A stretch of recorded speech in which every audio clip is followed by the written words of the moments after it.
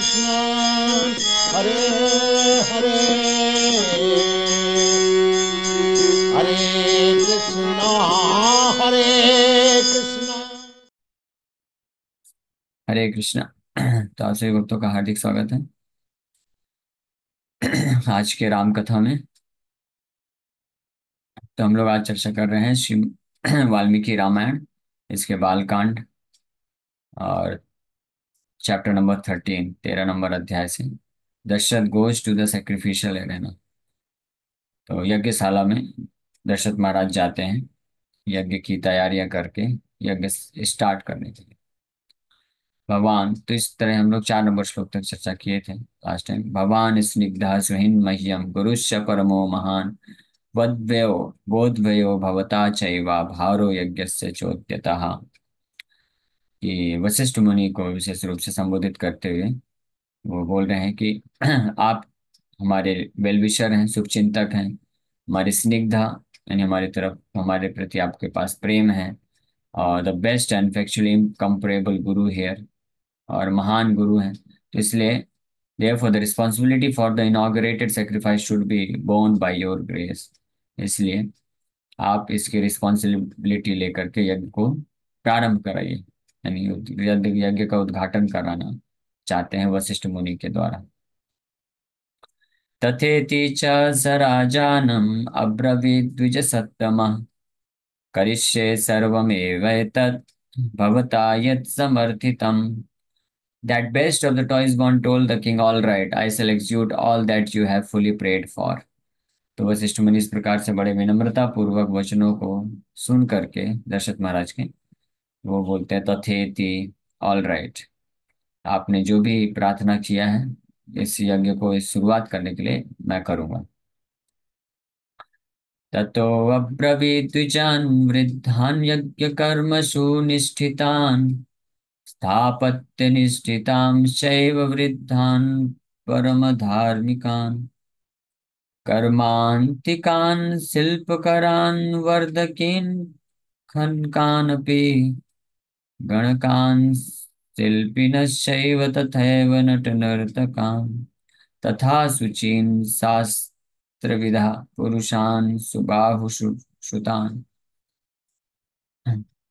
He then spoke to the senior toys born their experience in the performances of sacrifices, those who had been engaged by kings in the past as supervisors for procuring sac- sacrificial ingredients, elders firmly adherent to Vedic Dharma, full time laborers, manufacturers of bricks, and so on, carpenters for making the sacrificial implements and pillars, excavators for digging lakes, ponds, and the like, writers, painters, actors expressing mellows, dancers expressing attitudes, as well as very well learned persons who were pure knowers of the sacrificial guidebooks as follows.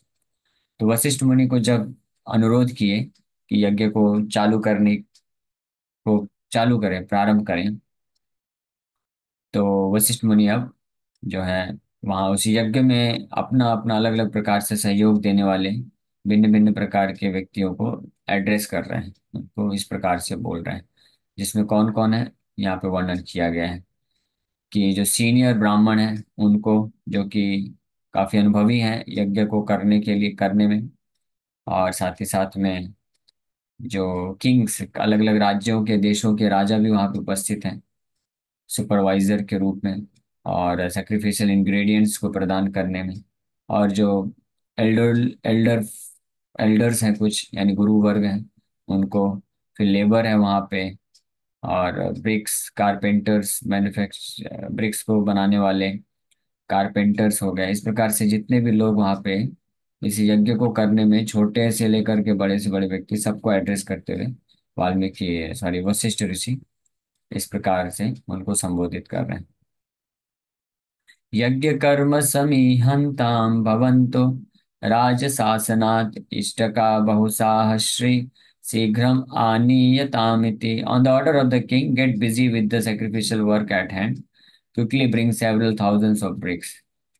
In eight verses the author describes the orders issued by Vasishtha the first half of this verse is directed to the sacrificial priests the second half is directed to the brick manufacturers so अब अगले आठ श्लोकों में वशिष्ठ मुनि यज्ञ की शुरुआत करने के लिए जो जो लोग भी वहाँ पे उपस्थित हैं उनके जो जो भी कर्तव्य हैं कार्य हैं तो उनको उस कार्य को करने के लिए आज्ञा देते हैं तो सबसे पहले जो है वो प्रीस्ट जो वहाँ पे ब्राह्मण हैं उनको आज्ञा देते हैं कि जो भी अ, अ, सामग्री की ज़रूरत है वो आप एकत्रित कराइए।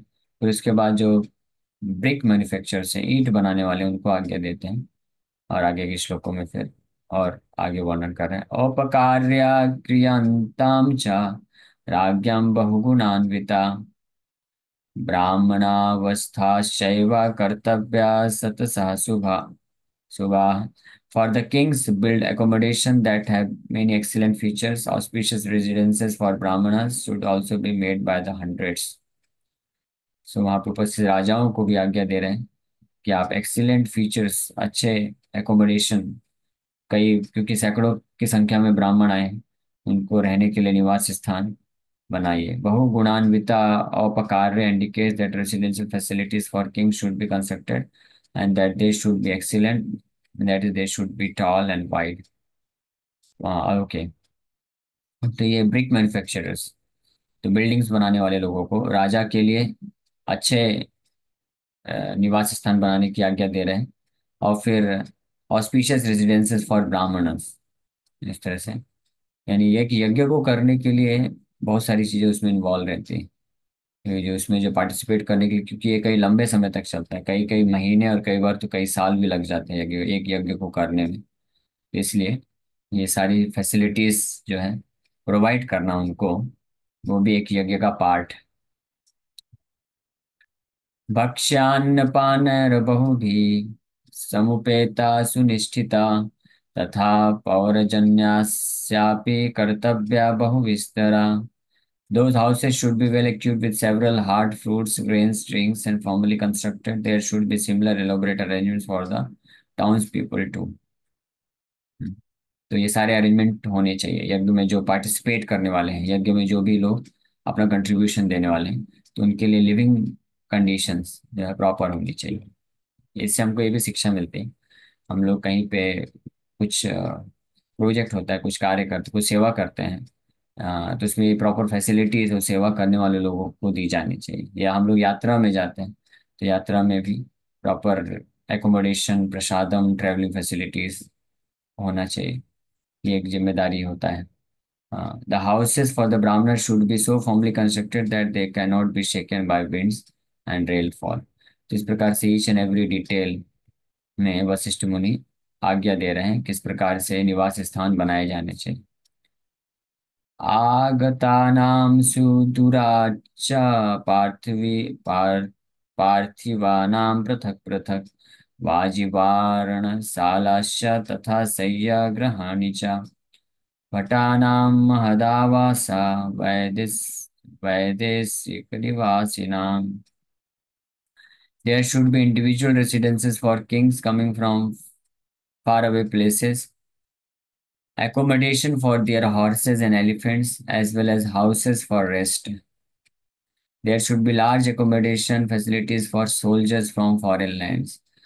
तो विशेष रूप से जो लोग दूर से आए हैं ऐसे राजा लोग जो अन्य देशों से दूर देशों से आए हैं उनके सोल्जर्स के साथ उन सब के लिए और उनके घोड़ों के लिए हाथियों के लिए सब के लिए निवास स्थान प्रॉपर तरीके से बनाना चाहिए फैसिलिटी प्रोवाइड करना चाहिए इसलिए एक यज्ञ जैसे अश्वमेध यज्ञ हुआ राजसूय यज्ञ हुआ, जो बड़े बड़े यज्ञ होते हैं, जो चक्रवर्ती सम्राट करते थे, जिसमें पूरे पृथ्वी के सारे राजाओं को इनवाइट करते थे। तो राजा अकेले नहीं आते थे, उनके साथ सारे मिनिस्टर्स सोल्जर्स हॉर्सेस एलिफेंट्स सारे पैराफर्नेलिया आते थे।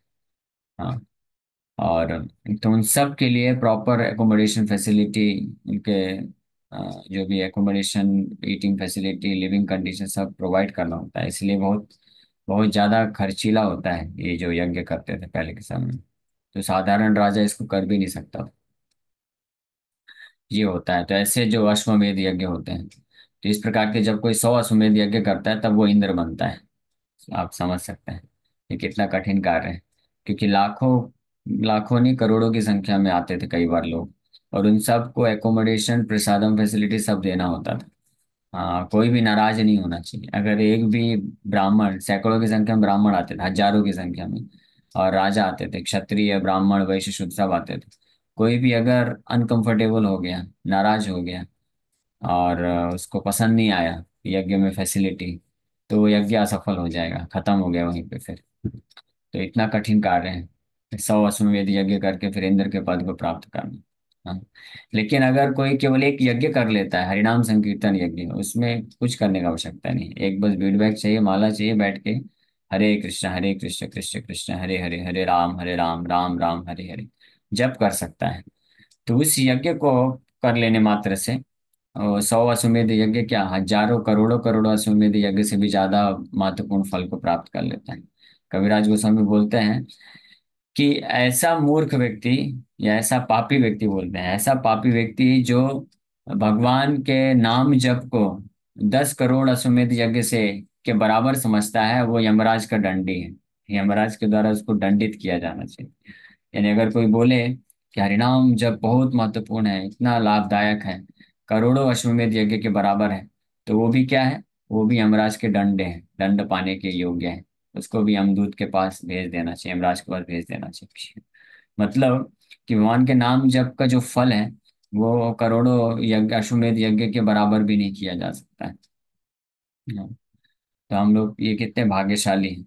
यहाँ पे दशरथ महाराज और ऐसे अनेकों अनेकों चक्रवर्ती सम्राट राजा महाराजा उन लोगों ने जो यज्ञ किए हैं जैसे युधिष्ठिर महाराज राजसूय यज्ञ किए थे। ये कोई इतना आसान यज्ञ नहीं था। बहुत उसमें खर्चा हुआ था। और सारे राजाओं के ऊपर विजय प्राप्त करने के पश्चात वो कर पाए थे। इसी तरह अश्वमेध यज्ञ। कोई भी साधारण राजा कर नहीं सकता था। हर किसी राजा के बा, के बस की बात भी नहीं होती थी। एक अश्वमेध यज्ञ करना भी और सौ अश्वमेध यज्ञ करना तो और कठिन कार्य है। ये सब हम लोग पढ़ के हमको एटलीस्ट इतना तो हम अंदाज़ा लगा सकते हैं कि क्या क्या उसमें ज़रूरत होती है। यज्ञ मतलब ऐसे नहीं कि दो चार ब्राह्मण आ गए और हवन कुंड बना दिया और सुहा सुहा कर दिए यज्ञ संपन्न हो गया। नहीं। क्या क्या उसमें ज़रूरत लग रही है, सब यहाँ पे दिया हुआ है। आवासा बहु भक्ष्या वय सर्व काम उपस्थिता तथा जा नपद्यापी जनस्य बहु शोभनम there should also be very beautifully constructed accommodation for people from the countryside it should be filled with plenty of eatables and and be filled with enjoyable objects like garlands and sandalwood सोचिए। दूर देशों से आए हुए राजा और उनका जिनके उनके सारे जो पार्षद हैं, मंत्री हैं, सैनिक हैं, सबके लिए एकोमोडेशन होना चाहिए। और कंट्री साइड से भी हाँ अपने देश के भी जो लोग भी आ रहे हैं, साधारण से साधारण व्यक्ति भी अगर आके यज्ञ में पार्टिसिपेट करना चाहता है तो उसके लिए भी प्रॉपर एकोमोडेशन बनाना पड़ेगा। और न केवल एकोमोडेशन उनके खाने पीने की पूरी व्यवस्था होनी चाहिए और उनको एंजॉय करने के लिए ऑब्जेक्ट्स गार्लैंड सैंडलवुड पल्प ये सारी चीज़ें होनी चाहिए। इतना ये डिफ़िकल्ट है ये टास्क दातव्यमन्नं विधिवत् सत्कृत्य न तु लीलया। Food should be given in charity according to the scriptural rules and with respect, not. ये भी एक रूल है। कि जो भी आते हैं उनको किस तरीके से प्रसाद देना चाहिए। गिवन इन चैरिटी दान के रूप में देना चाहिए पूरे सम्मान के साथ ऐसे हँसते खेलते नहीं, ये सारी चीज़ें। Food should be given with respect that is by honouring the recipient with fragrance and so on it should also be given with respect not playfully that is not disrespectfully तो ये सारी चीज़ें बातों को ध्यान में रखना पड़ता है। क्योंकि कोई भी कोई भी जो गेस्ट आया है, उसका पोजीशन कैसा भी हो, अगर वो असंतुष्ट हुआ तो फिर यज्ञ खत्म, यज्ञ सफल नहीं माना जाता। सर्वर्ण यथा पूजा प्राप्त सुसत्ता न चावाग्या प्रयोक्तव्या काम क्रोध वसादपि arrange for all varnas to be honoured and well respected no insult must take place under the influence of desire and anger even playfully अभी सारे वर्णों के लिए सर्व वर्ण यानी ब्राह्मण, क्षत्रिय, वैश्य, शूद्र, चारों वर्णों के लोग आएँगे वहाँ पे, उनका सबका सेवा है, क्योंकि कोई लेबर भी है। तो वो शूद्र है वैश्य भी है होंगे और क्षत्रिय भी होंगे और ब्राह्मण तो होंगे ही होंगे। तो सबके लिए पूरे सम्मान के साथ उनका सम्मान करना चाहिए उनको रिस्पेक्टफुल रिसीव करना चाहिए उनके लिए सारी फैसिलिटी होनी चाहिए किसी को कोई भी इंसल्ट नहीं देना चाहिए। इवन नॉट इवन प्लेफुल यानी मज़ाक में भी नहीं। So this is clear evidence that even though the four varnas are stratified, all are to be honored.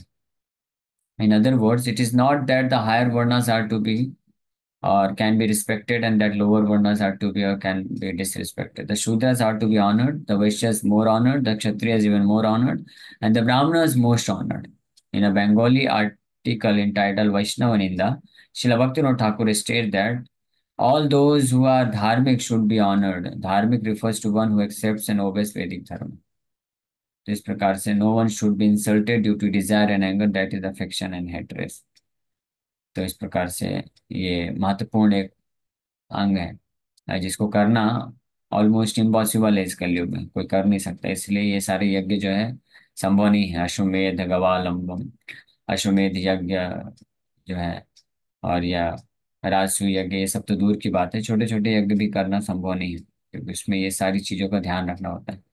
यज्ञ कर्मणि ये व्यग्रा, पुरुषा, शिल्पी शिल्पिनस्तथा तेषामपि विशेषेण पूजा कार्य यथा क्रमम् ते च स्युः संवृता सर्वे वशुभिर्भोजनेन च Those persons who are busy with the sacrificial work as well as the artisans should also be honored with great respect according to their superiority. All of them should also be satisfied with wealth and food.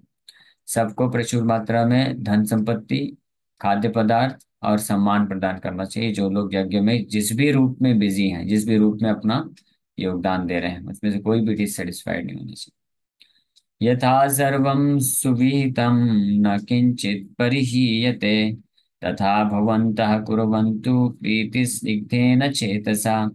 With minds moistened with affection, do everything exactly as prescribed and do not leave anything undone तो इस प्रकार से finally Vashishtha मुनि सभी को ये आदेश दे रहे हैं, जो भी वहाँ पे रिस्पॉन्सिबिलिटी यज्ञ को करने की रिस्पॉन्सिबिलिटी लिए, कि प्रेम से सभी लोगों को आदर सम्मान के साथ रिसीव करते हुए, इस यज्ञ में जो भी ज़रूरत है वो करना है। तथा सर्वे समागम्य वसिष्ठम इदम अब्रुवन, यथोक्तम तत्सुविहितम न किंचित परिहीयते। All of them then came back and told Vasishtha the following We have done everything exactly as prescribed by you. We have not left anything undone. They did as instructed by Vasishtha. तो वशिष्ठ मुनि ने जैसे आदेश दिया तो सब लोग अपने अपने रिस्पॉन्सिबिलिटीज की तैयारी करके उनको वापस आके रिपोर्ट किए ये भी एक महत्वपूर्ण चीज़ है कि जब हम कोई भी सेवा करते हैं, चाहे यात्रा हो या कोई प्रीचिंग प्रोग्राम हो प्रोजेक्ट हो तो सुपीरियर हमको आदेश देते हैं या बताते हैं इस इस तरीके से करना है तो वो करने के पश्चात फिर वापस रिपोर्ट करना चाहिए। बताना चाहिए कि हाँ आपने जैसे से बोला था, वैसे वैसा सब अरेंजमेंट हो गया। ऐसा नहीं, कई बार वक्त लोग कर तो देते हैं, लेकिन बताते ही नहीं है। तो इसलिए फिर आगे का जो इंस्ट्रक्शन है, वो फिर कैसे मिलेगा? इसलिए यहाँ पे सभी लोगों ने वशिष्ठ मुनि का जो आदेश था, वो पूरा करने के पश्चात वापस आकर के उनको रिपोर्ट करते हैं कि ये सारा अरेंजमेंट हमने कर दिया है। अब आप आगे बताइए क्या करना है। ये भी एक लेसन है। Reporting importance of report report का। यथोक्तम तत्करिष्यामो न किंचित परिहास्यते। We will do as you say will not leave anything. We will not leave out anything undone तो अब और भी जो कुछ बचा है, आप जो भी बोलेंगे, हम करेंगे। कुछ भी अनडन नहीं रहेगा। कुछ भी ऐसा नहीं होगा जो करने वाले, करने के लिए ज़रूरत थी। वो ना किया गया हो, ऐसा नहीं रहेगा। ततः सुमन्त्रम् आनीय वसिष्ठो वाक्यमब्रवीत् निमन्त्रस्व नृपतेन् पृथ्व्यां ये च धार्मिका Then Vasishtha called Sumantra and spoke these words. Call all kings on earth who adhere to the Vedic, to Vedic Dharma. Having created all facilities for the visitor, Vasishtha then ordered that kings be invited. इस प्रकार से जब पूरा arrangement हो गया तब सुमंत्रा को, जो कि प्रधानमंत्री हैं मेन मुख्यमंत्री दशरथ महाराज को, उनको बुला करके वशिष्ठ बोलते हैं कि अब आप सारे राजाओं को पूरे पृथ्वी से आमंत्रित कर दीजिए, वो आ सकते हैं। ब्राह्मणान् क्षत्रियान्, वैश्यान् शूद्रांशैव सहस्रशा समान्नयस्व सत्कृत्य सर्वदेशेषु मानवान्। Respectfully invite all men, brahmanas, brahmanas, kshatriyas, vaishyas, and sudras by the thousands in all lands. हज़ारों की संख्या में सारे पूरे पृथ्वी में जो ब्राह्मण हैं क्षत्रिय हैं वैश्य शूद्र हैं सबको आप बड़े ही सम्मान पूर्वक इनवाइट करिए और ये सारी फैसिलिटीज़ प्रोवाइड करके उनको प्रॉपर तरीके से सिचुएट करिए तो इस प्रकार का जो है आदेश आ, दे देते हैं अब बाकी हम लोग कल आगे चर्चा करेंगे। Okay Hare Krishna. Thank you very much किसी वर्ग का कोई प्रश्न है? यस जितेश को। हरे कृष्णा प्रभु जी दंडवत प्रणाम। हरे कृष्णा। तो शाम की चर्चा में मैं अ, कुछ ऐड करना चाहूँगा। बोलिए। जैसे आपने बताया है कि हनुमान जी को एक ऋषि ने मतलब अ, श्राप दे दिया था। हाँ। पर अ, हनुमान जी को श्राप करण को दिया हुआ था। अ, पर हनुमान जी को मंत्रों से बांधा गया था कुछ समय के लिए। पर ज़रूरत पड़ने पर उनकी उन्हें कहा गया था कि अ, मंत्र उच्चार से ही उनकी शक्तियाँ वापस दी जाएगी उनको वापस आ जाएँगे। हाँ तो जब ज़रूरत पड़ा था तो फिर जामवंत जी आकर के याद दिला देते हैं और वापस मिल जाता है। पर उनको श्राप नहीं दिया ओके। गया था हनुमान जी को। ये ओके अम, ओके। ठीक है मुझे ठीक ध्यान में आया। वही, ठीक है okay. Hare Krishna. Thank you Hare Krishna. Yes Ankita माता जी। हरे कृष्ण प्रभु जी दंडवत प्रणाम। प्रभु जी अभी शिल्पा माता जी ने भी कुछ ग्रुप में ऐसा डाला हुआ है बांग्लादेश में जो अटैक हो रहा है मंदिर में। तो उसके लिए हम लोग क्या माला प्रार्थना क्या कर सकते हैं? थोड़ा हम लोग को हरे कृष्ण।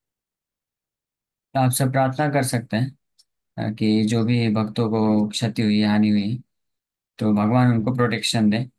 हम लोग प्रार्थना करते हैं भगवान से हरे कृष्ण महामंत्र बोल करके कि भगवान, जो भी भक्त लोग स्पेशली अगर किसी का शरीर छोटा है या कुछ बहुत ही ऐसे असहाय स्थिति में है तो भगवान उनको शक्ति दे प्रेरणा दे और जो शरीर छूटे हैं जिन भक्तों के तो भगवान उनको अपने चरण कमलों की सेवा में आ, लगा के रखें। Further progress towards Krishna consciousness. ठीक है? तो ये हमको प्रार्थना करना चाहिए।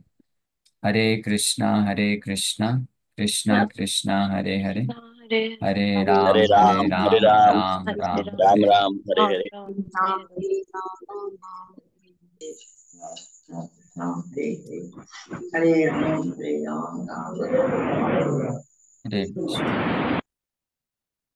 तो ऑफ़ कोर्स भगवान को समर्पित करना चाहिए और न केवल इस स्थिति में, हर स्थिति में समर्पित करना चाहिए। ऐसा नहीं है कि आज की जो स्थिति है, यही ऐसी गंभीर स्थिति है जिसमें समर्पण करना चाहिए। हम हम अगर एनालाइज करें, दोपहर क्लास में वही चर्चा कर रहे थे। हम सब की स्थिति बांग्लादेश में जो हो रहा है, उससे कोई ज़्यादा अच्छी स्थिति में नहीं है हम लोग।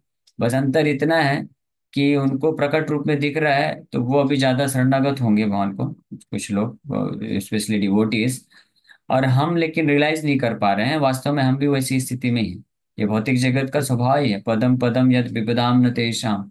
Every step we have dangers हर हर क्षण हमारे जीवन में डेंजर है।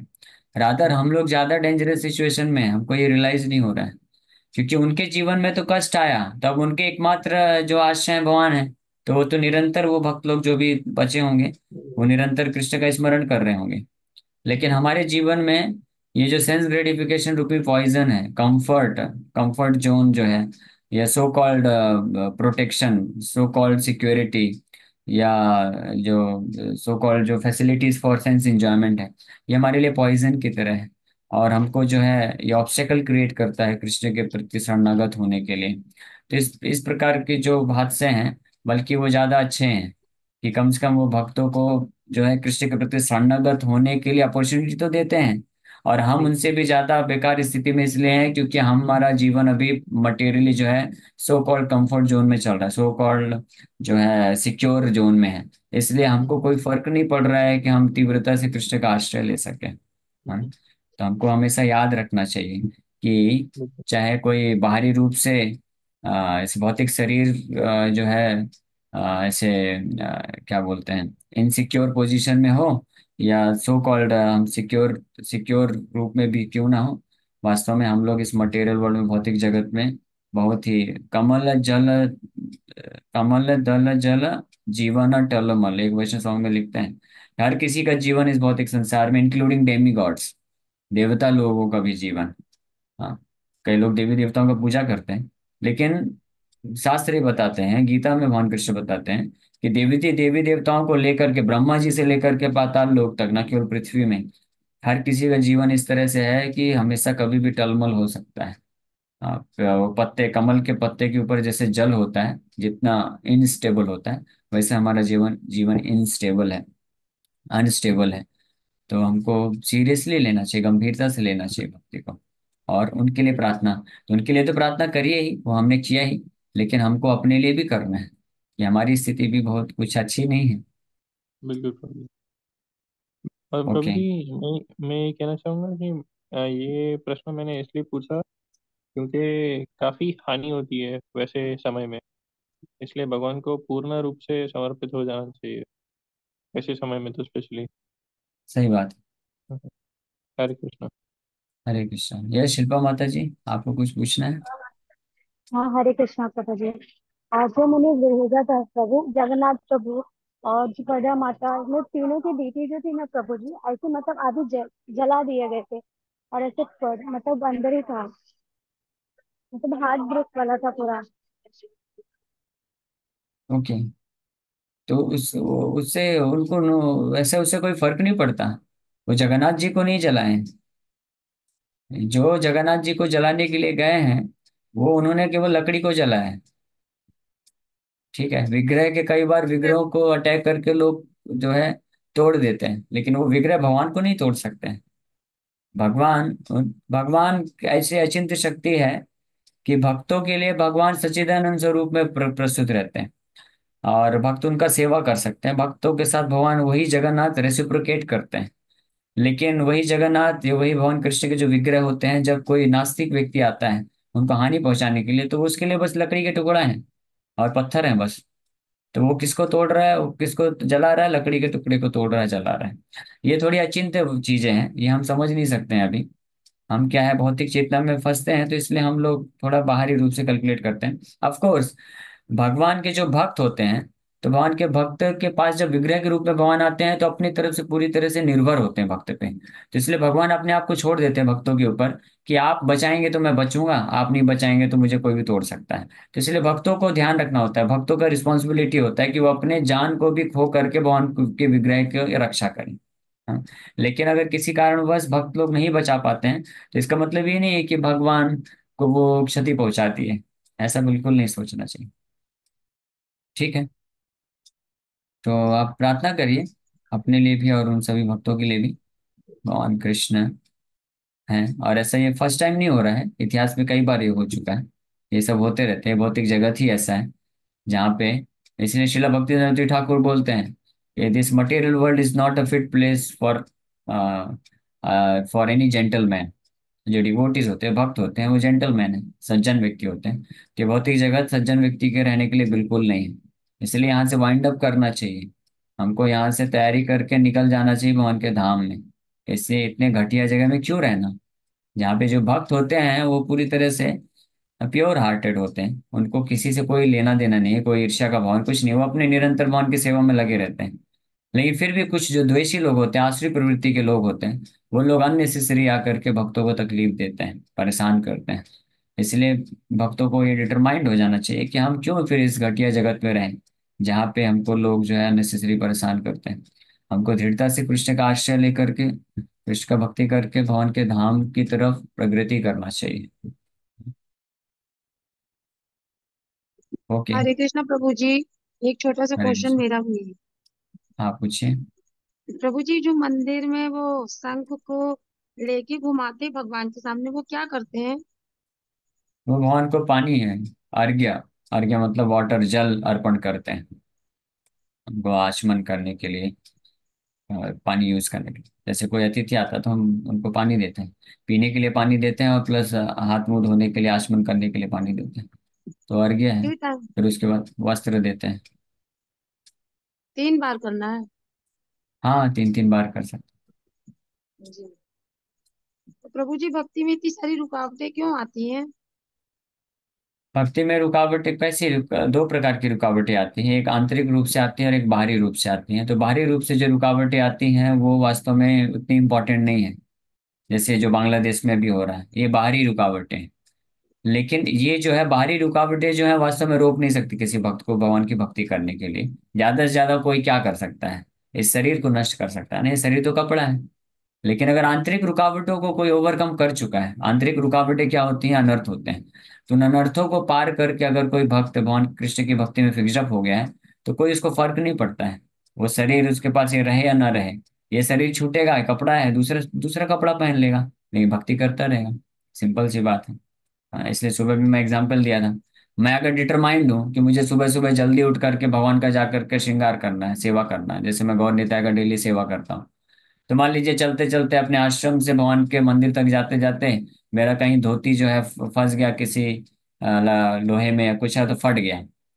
तो उससे क्या फ़र्क पड़ेगा? मैं यू टर्न लूँगा वापस से जा करके स्नान करके फिर वापस से नया धोती कुर्ता पहन लूँगा और जाके सेवा करूँगा, है ना? क्योंकि इंटरनली मैं कन्विंस हूँ कि मुझे कृष्ण का सेवा करना उसी प्रकार से जो भक्त होते हैं, जो इंटरनली कन्विंस्ड हैं, कृष्ण के आश्रय में हैं कृष्ण के सेवा में लगे हुए हैं, कोई फ़र्क नहीं पड़ता। कोई आके अटैक करके उनको मार भी देता है, ये शरीर नष्ट हो जाता है, ये शरीर तो कपड़ा है। वो उसी चेतना में, कृष्ण की सेवा की चेतना में स्थित रहते हैं, इसलिए वैसे फिर इमीडिएटली वो जो तुरंत दूसरा जन्म प्राप्त करते हैं और नए कपड़ा पहन करके वो सेवा करते हैं। और एक और इंटरेस्टिंग बात है, आप सबको पता होना चाहिए कि भक्तों का शरीर छोड़ना मतलब कैसा होता है? भक्त लोग जब शरीर छोड़ते हैं तो उनके लिए शरीर छोड़ना मतलब कि वो जा करके सो गए बेड में सो गए और जैसे सुबह उठे तो देखे कि दूसरे माँ के गर्भ से जन्म ले लिया उन्होंने दैट्स ऑल और कोई फ़र्क नहीं होता ज़्यादा। लेकिन जो भक्त नहीं होते हैं, जब वो शरीर छोड़ते हैं तो उनको बहुत बहुत पीड़ा होती है, बहुत कष्ट झेलना पड़ता है। साठ हज़ार बिच्छू जो एक साथ डंक मारते हैं, वैसा कष्ट मिलता है इमीडिएटली मृत्यु के टाइम पे।